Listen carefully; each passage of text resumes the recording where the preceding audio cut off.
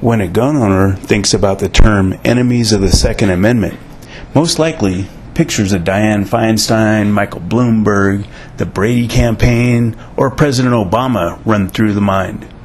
While these people truly do not want you or I to have uninfringed access to weapons, focusing on them, the political class, as the problem leads you right into their sinister game of shells. In a reality, these people are the true gun grabbers. They do not conceal their weapons or their intent. They do not hesitate to initiate violence as a means to grab your means of defense. Gun grabbers exploit all sorts of confusing laws that vary from town to town in an effort to collect guns from unknowing, peaceful, and moral people, or punish them for exercising rights. Pistol in the wrong compartment of your car? Gun grab. Ammunition not locked separately? Gun grab.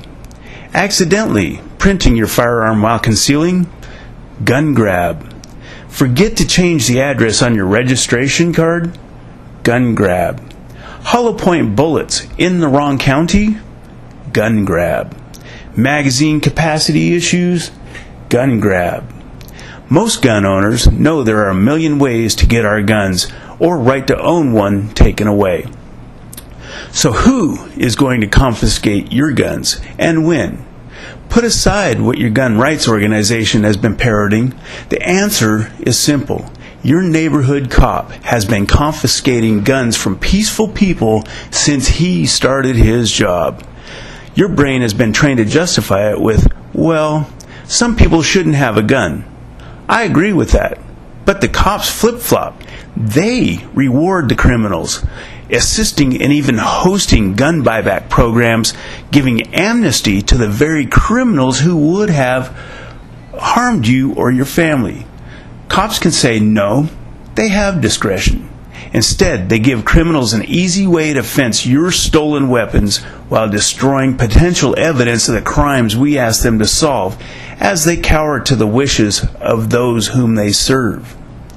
Conversely, if the crime you commit is possession of a gun with a flash suppressor, extra grip, or military style configuration in the wrong political subdivision, the gun grabber will take it with violence and punish you.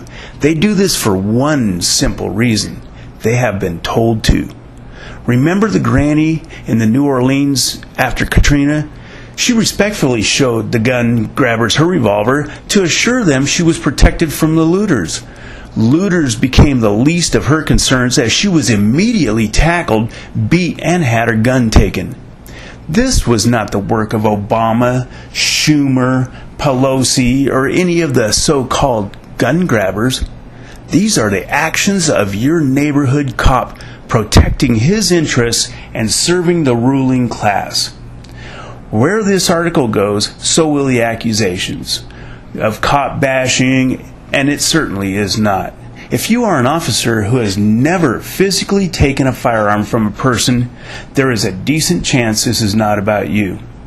If you meet the first criteria and never arrested a person for domestic violence without first hand knowledge, like you would need in a shoplifting case, most people call that witness, it is fairly possible I'm not talking to you. However, if you have ever arrested someone for domestic violence without first hand knowledge, not only are you a gun grabber, you are a criminal as well. My intent is to assure cops that we trust human judgment more than we do the I'm just doing my job mentality. Really, if you aren't a shield for the elites, would you think it necessary to shut down lemonade stands on nine year olds? Or any of those other daily occurrences that turn the stomach of this land much too often? We expect moral decisions and humane interactions, drone like behavior, as well as gun confiscation, is unacceptable.